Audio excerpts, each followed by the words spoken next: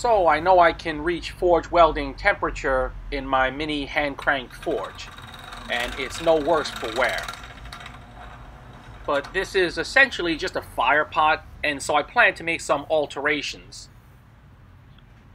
But for today, I'll leave it as is to work on this maybe silly idea that I have. This is a piece of stainless steel tube. I've got these bits and pieces of tool steel, a spring, uh, an old saw blade here from a Japanese saw, and whatnot. And I'm thinking of making even smaller bits to fit within the tube and see if I can forge weld them together. I cut the tube in half and crimp one end. I'll put this piece of 1095 within the spring and then put the spring within the tube and then maybe try to shim those pieces of saw blade, those small pieces I cut off along the sides. So I have this suspicion that the steels within the tube, when they reach a forge welding temperature, won't bond to the stainless steel tube and will remain independent. But that's just my guess. I don't know. We'll see. But if the tube does become part of the bits and pieces of tool steel within, that's fine by me as well. The main idea is that I want the tube, when sealed, to act as a barrier and so to replace flux. And then this way I can really crank up a forge and not worry about oxygen ruining the weld. Also, trying to forge weld little bits and pieces would be near impossible for me otherwise.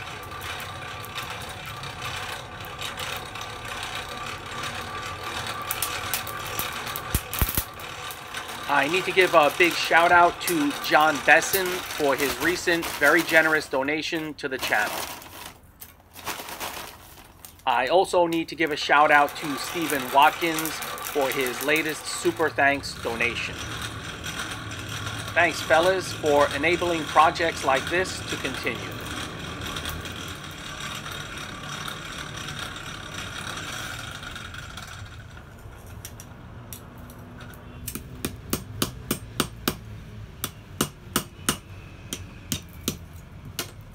At first glance here, it does seem to me like the bits inside have welded, but the pipe has not.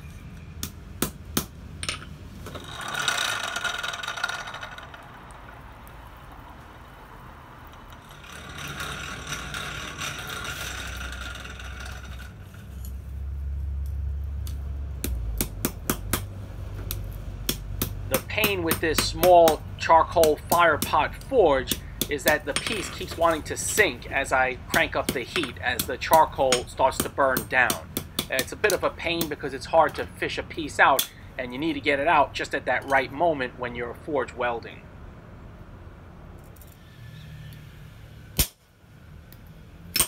Oof, I nailed my anvil.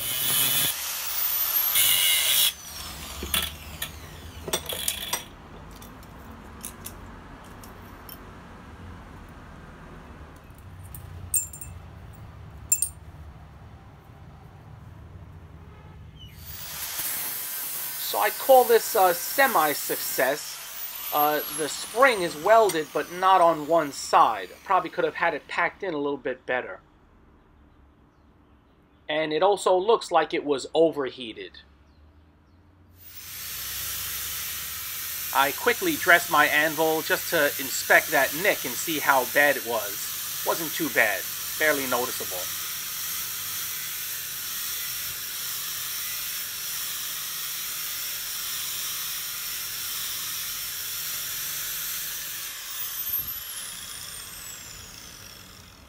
Alright, I've got the other half of that stainless tube, and so I'm gonna try again. I've got these pieces of 1095, some slivers of the saw blade, and these other pieces here are actually W1.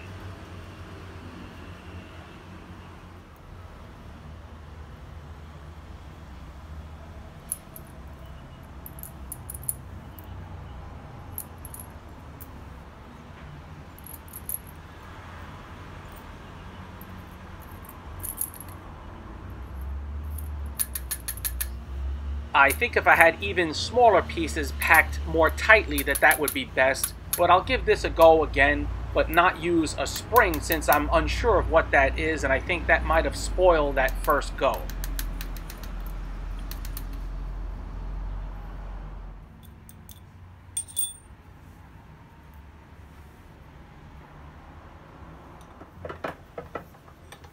One caveat, don't try to do this with galvanized pipe. And if you're unsure if a piece is galvanized or not, then don't do it. If this works as I think it can, this could be really helpful for some people. I decide to use my gas forge for this try.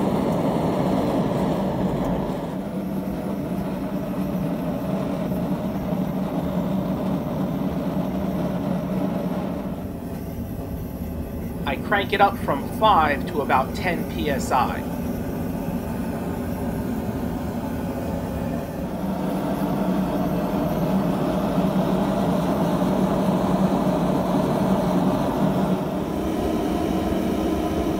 I turn on my blower and the air blast really raises the temperature even more, but with the material being within the tube and sealed, I don't have to worry about excessive oxygen so much.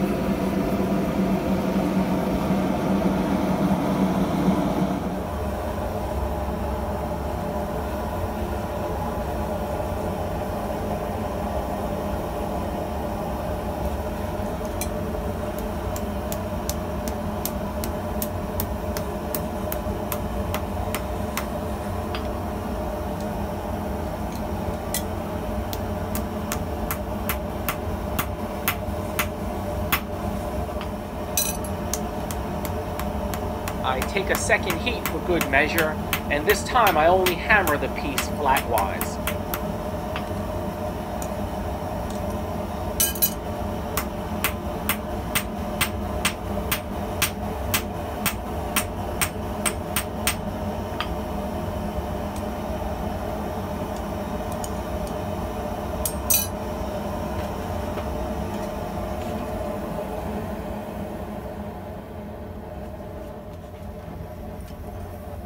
I can tell the pipe hasn't welded just by the opening on the end.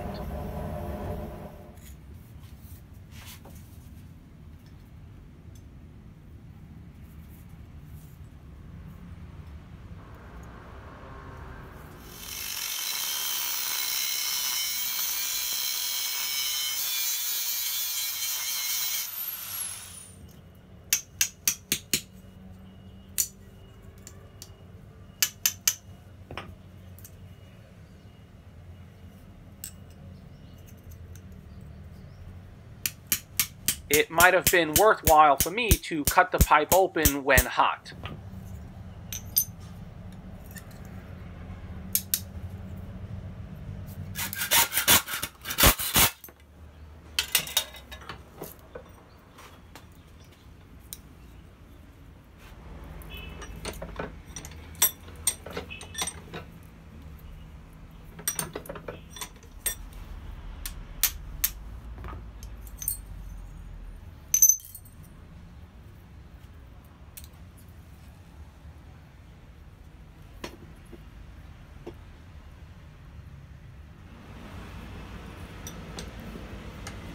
The melting point of stainless steel is not much higher than for tool steels, but stainless steel is very heat resistant, and that's what made me think that this might work.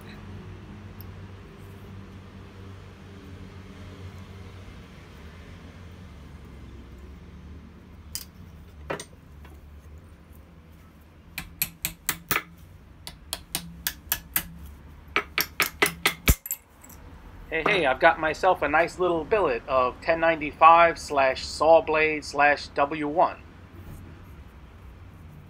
I went a little too deep with the cutoff disc on the edges, and the ends are a little bit ragged, but otherwise pretty good.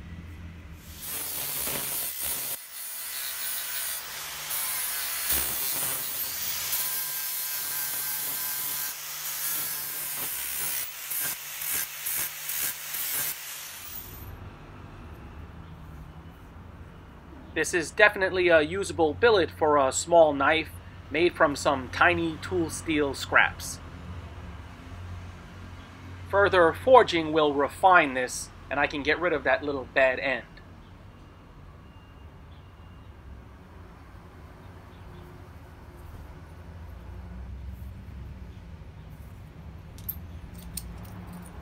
I foresee myself doing this again, and maybe also making some small decorative billets. I dug through my stuff and I found this slightly larger piece of stainless steel pipe.